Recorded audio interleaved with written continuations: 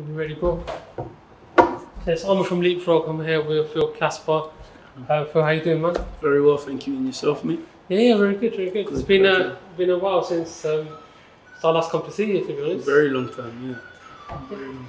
Looking um, looking very slim. Thank you. Uh, yeah, I'm back to fighting weight, training weight, Yeah. how I should be. Um, injury free as well, which is a good thing.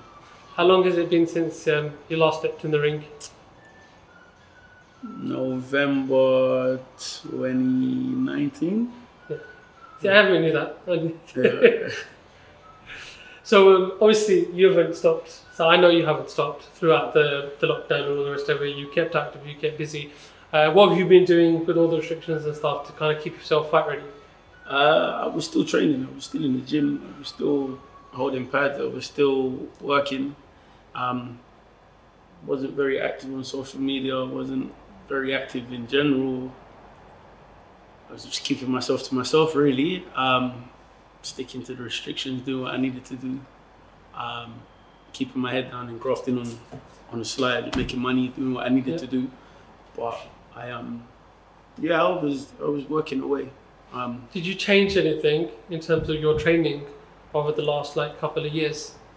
Uh, not, uh, not really changed. I'm just I had to work around injuries. Yeah. I think that was more probably the main thing that I had to adapt. Um, so I, I adapted working around my injuries, but my injuries have subsided now. So And because of the clips that I've seen of you and some of your stories, it just seems like you're a lot, lot stronger than before. I mean, you were strong before, like your shots were very powerful, but you seem a lot faster and there's like a lot more venom in your strikes compared to two or three years ago. So it Um, feels like you kind of up that, the strength and conditioning maybe part yeah, um, I've added the strength and conditioning back in. I guess I stopped doing it for a while, especially over the lockdown. I wasn't doing it as much. Um, I was doing kettlebells, but that was more for fun and more of a hobby and stuff. I enjoy doing kettlebells and workouts like that. But I guess for this fight camp and for training in general, yeah, uh, strength and conditioning has been leveled up. Um, I've got a new coach now as well, so big shout out to Will, um, Bang on Six, uh, for helping me out for this fight camp especially. But um, yeah, I do feel stronger. I do feel, and I'm fighting at a new weight as well. So. What was the reason why you've, you've changed the weight? Yeah, um, I'm getting older. Cutting weight's not fun anymore. Well, it never is fun, but I'm getting older. Um, my body doesn't want to lose the weight like it used to. Don't get me wrong, this fight camp's gone very well um, in terms of like weight loss and stuff. But yeah, I just for my own health and for my own for my own safety. Yeah. Um, I've been killing myself to make super middleweight for all them years, Yeah. and it got to a point where it was it was killing me, and I didn't want to do it anymore. Um, honestly, I was on the brink of retirement because of it, because I didn't want to do it no more. But I, I got a new fire and a new passion. So yeah, we we switched the game plan slightly, gone up in weight, Yeah. um, which I think will be much more beneficial for myself. And yeah, we're just yeah, ready to roll now. So like we've obviously been talking just before we was on camera, and I kind of feel like a different vibe from you, like um, compared to other fights, even the European type of fight. I feel this. Um, no, I don't think intensity is the best way of saying it, but it's like there seems a lot more venom and enjoyment in it as well. If you get what I mean, Where it seems like you're at peace, you're enjoying the process as Uh, yeah, well. yeah. And kind of it's scary for your opponent. It's good to see from this side. It's scary for your opponent though. Um, I think I've always been known, and I think I've crafted a reputation for myself for being very calm, cool, collected, and I've always, and I've had it well documented as well that I want to be a gentleman out of the ring and an absolute cunt in the ring, and I think I've upheld that from day one till present day. I think as I'm older, I'm more mature. I know what I want. I know where I'm at. I know what I've achieved. I know what I've worked for and what I've obtained on the, along the way. Um, and yeah, I, yeah, I've been working. I've been, I've been working. Yeah. I've been uh, grafting. I've been putting in the hours. And I'm just. No, I get it, I get it, I'm I get looking it. I get, I get, I, I get you feeling uncomfortable because Uh, there's the different, and Phil Casper coming to this fight, I know it. I think um, anyone that knows you knows it, that there's different purpose, there's different kind of ferocity in coming into Yeah. this fight. Is potentially that going for that world title fight, which kind of feels like it's been a build up over the last like five, six years, Yeah. building up to that world title fight. Is that the one like it excites you now? It's got your juices kind of flowing. Yeah, um, I'm not going to mention what gave me the fire yet. And there's someone in particular that made that happen, and I am forever in their debt. They don't, they don't even know. That's why I'm not going to say who. But somebody trained with me and gave me the fire again. Excellent. Um, after having them two years off and because of COVID and stuff, I was Yeah. injured. I didn't want to get back in the ring, and, I- and I was done. Um, but someone came to train with us, and they they gave me a passion and a, and a desire, Yeah. and I haven't felt like that for a long time. And that reminded me of my very first fight. And my very first fight was on a Sandy Holt show at Interclub. Um, and I remember I finished the fight in four hours drive home to London from Manchester. I was in the car and the adrenaline was buzzing. And that's that's the closest I felt to that feeling. Um, all the, the achievements and the belts and the wins and stuff prior have been great. Yeah. But I don't know. There's just a different. As you're right, you, you as you said, there is the different a feel different- and I a can diff- feel it. Yeah. yeah. a different vibe. And um, yeah, I I guess Yeah. I'm just I'm just excited. I just Yeah. um. It's nice good. to- It's good to see. It's good to see from this side as well. Yeah. It's good to see. So let's talk about the actual fight that's coming up. So firstly, the location, because it is on your home turf, and Bloodline doesn't mess around when you fight in the O2. Like I've been there, the atmosphere has been unreal. Whether it be Scala, whether it be the O2, whether it be even the round chapel down the road over here, right? Mhm. It's always sick. So to go for that world title fight in front of like your pretty much your home fans, you know they're gonna sell out that place, right? Mhm. the noise and the atmosphere is going to create. How's that going to feel for you to step out on the O2 to that kind of fan base? honestly, and then I've always looked at it. Maybe the first two or three fights I had at the O2 was like, oh my god, I'm fighting at the O2. My mum used to watch her favorite artist perform on that same stage, and now she's watching her son on that stage perform. And I think I was proud of myself making my mum proud. Um, but that, if I'm honest with you, that novelty's worn off. This will be now my 10th fight at the O2. I think I must have the record for most fights on Muay Thai Grand Prix. I'm speculating, but Yeah. I'm pretty sure I must have. it. Um, it will be my 10th fight. I won my European there. Um, and that was always a dream of mine. I think once I had progressed and carried on fighting, Yeah, it was always about winning a, a title at the O2 in front of all them thousands Yeah. of people, my friends, family, my home fans, everything. And I did that with the European, but that wasn't me in the ring. There, there was a lot going on then. Yeah. That wasn't me outside of the ring. I didn't want to be there. yeah, I, I can openly say that I didn't want to be in that fight. yeah. Hence why the performance wasn't my usual performance. But I learned a lot about I mean, you myself. did really well I learned a lot about myself that day because um, I think one of my coaches, we sat and we had a big conversation about it. On my worst day, I can perform. Yeah. So on my best day, it's a it's a different person. It's a think it's- scary person. You see, like what I noticed with you is you're like a professional fighter. So when you go into that arena, you have your your process. Just as soon as you switch into your process, it doesn't matter what's happened. Mhm. You just go through your process. Yeah. Even I know the process. When you walk into the thing, you know your back to the ring, and then you walk in, you do a little jump, and do you know what I mean? You go through it, and it feels like it's like um, like a not a chant, but like you know, it's, it's your process to it. Mhm. And once you're in that process, you're on your game It's, on. It doesn't it, matter. Yeah, the bell That's goes, what I I switch on. Yeah, hundred percent. And albeit that I had to switch on and work, that the the circumstances I just didn't want to be there. Yeah. um, which told in my performance. But I, however, but is negative. But however, I got my job done. Yeah. So me on my worst can perform and get the job done. Me at my best. No, but you say that, you say you got the job done. I watched that fight, it wasn't just got the job done. There was no round that he won. You couldn't turn around. It wasn't like, you know, when you say job done, it implies that, you know, I've just got the win. that wasn't the case. You dominated all rounds of those that Mhm. fight. I don't think anyone at the end of it was saying, "Oh, you know what? This is a close one." Everyone in the arena knew you won. So I get what you're saying. You're just beating yourself up for no reason. I, but I hear you, but the judge gave me a split decision, which didn't make no sense to me. Yeah. But I, again, I'm not, albeit I'm tra- uh, trained as a judge and a referee, but regardless, you got the belt. I That's got the the belt, I got the win. It's another scalp.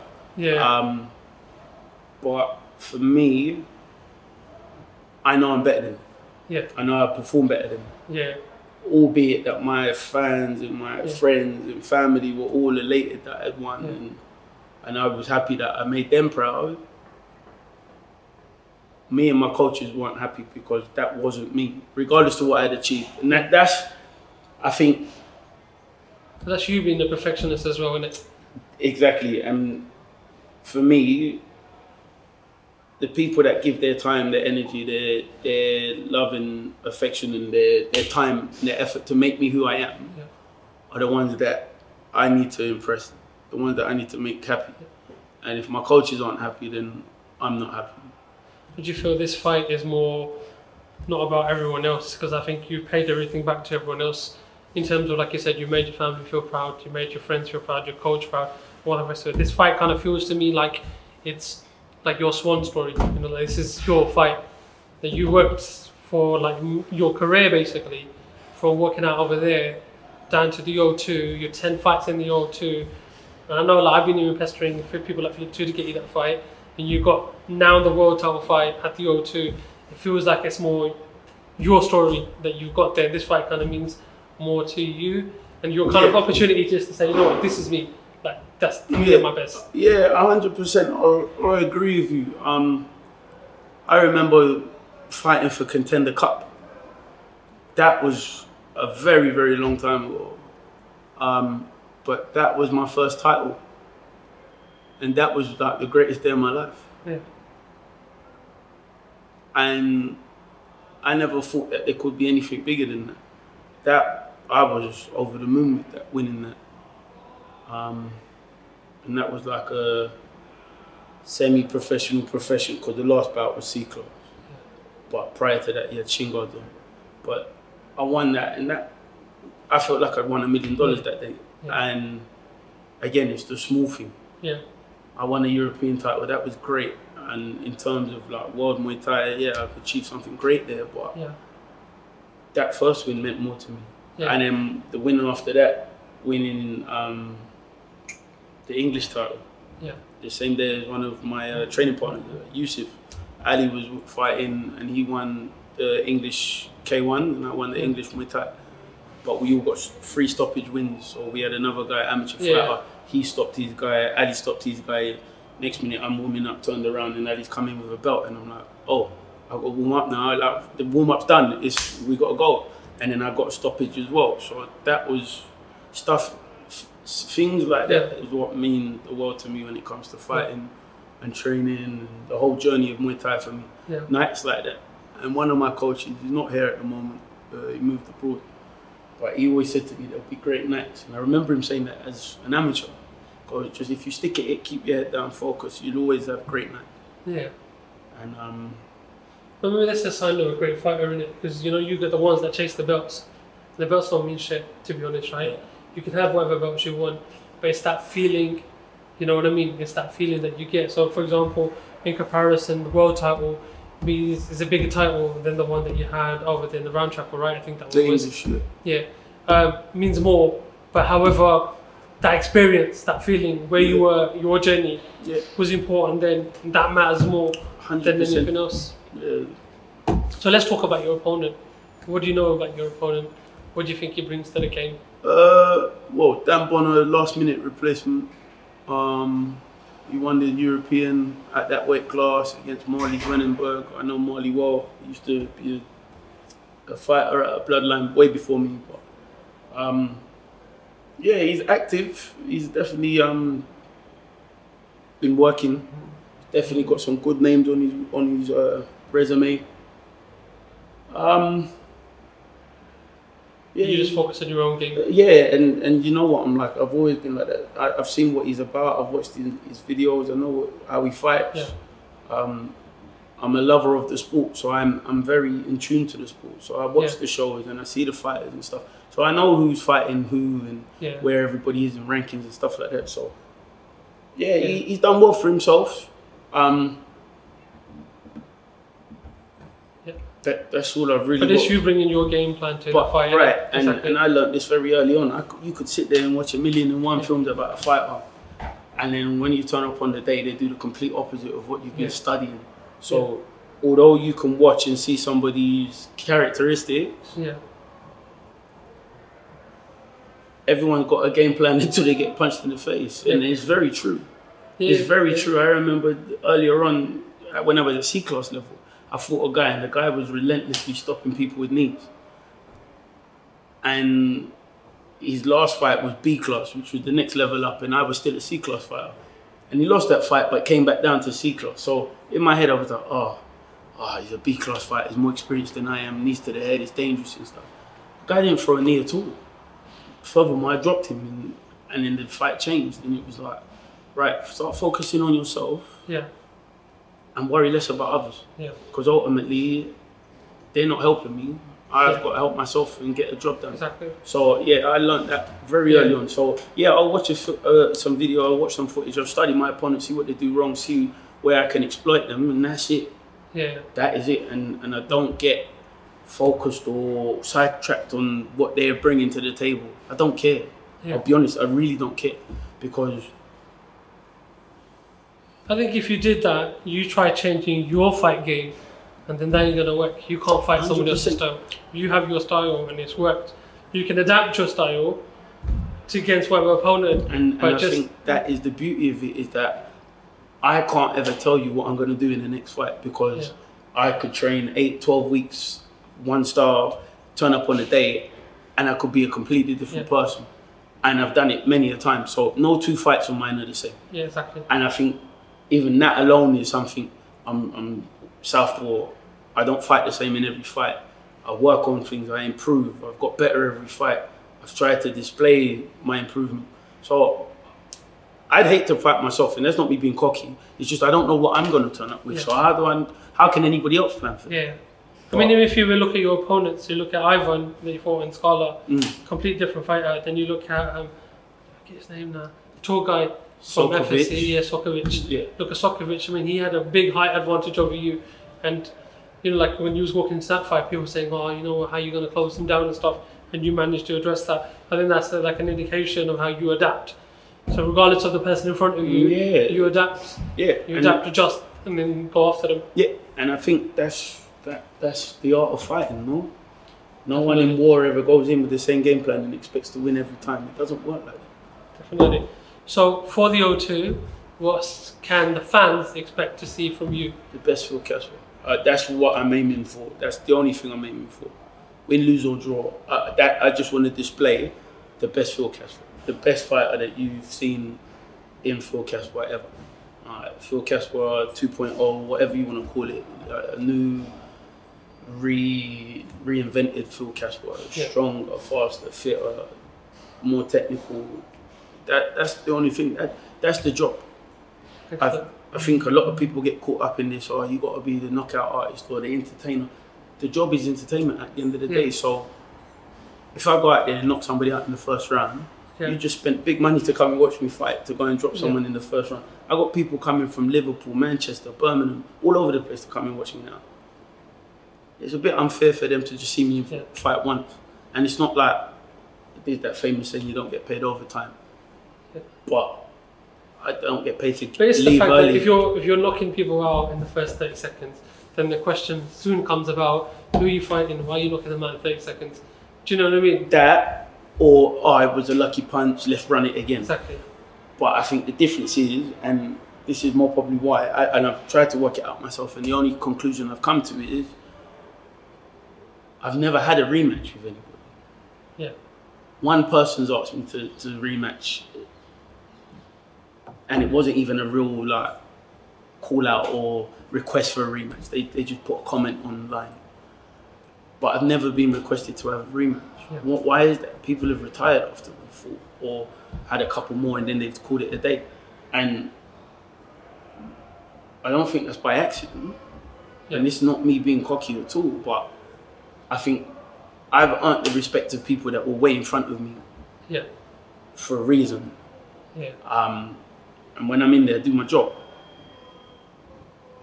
And I think ultimately, and I said this just a minute ago, the job is to entertain.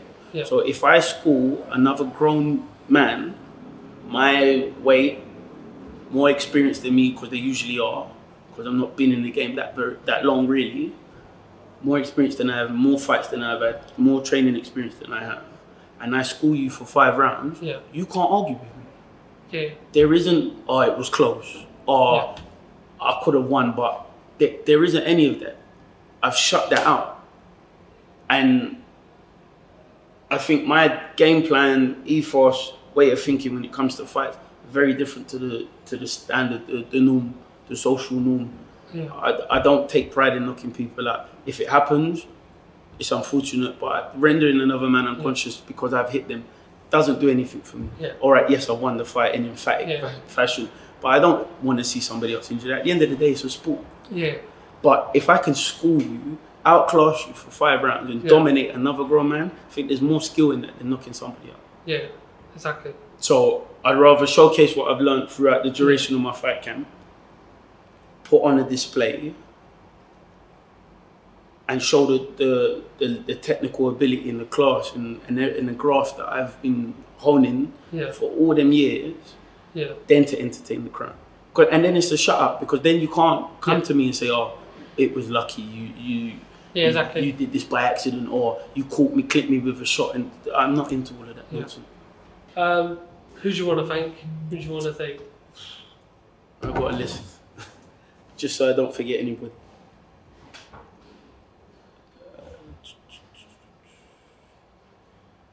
First off, I want to thank yourself Thank you. uh, for coming down and your time. Um, obviously, the gym, everyone that comes down to the gym, everyone that supports me, everyone that's there for me, my family, my friends, I love you all. Uh, Tremor, Will Performance, My Manor for letting me use their facilities, members of society, uh, QR unit, medical, phys- uh, physio, Beat It and Zero Shots, uh, Notorious Fight Gear, Sweet Mum's Food, TW, TWS Clothing, Athlon Rub, The Mango Corner Boxing, and Panther and Peak. Yeah, they've, um, most of them people have been with me from the beginning. Um, and just the opportunities that they've allowed me to have given to me, be it a piece of advice, a bit of clothing, clinch mob as well. They've just recently given me a load of stuff, fight supplies and death blow as well. Thank you. Um, but just the opportunities. Yeah. Um, everyone's played their part in making me who I am today and, and the fight I am today. I fought on shows in Nantwich. I fought on Your YOKKAO. I fought on Muay Thai Grand Prix. Um, PCT and later on in the year, um, or in the month, should I say. Um, yeah, just everyone that's ever given me an opportunity, Yeah. everyone that's ever believed in me. Sandy Holt, my old gym, uh, Sean Fogg, and Adam Matvienko.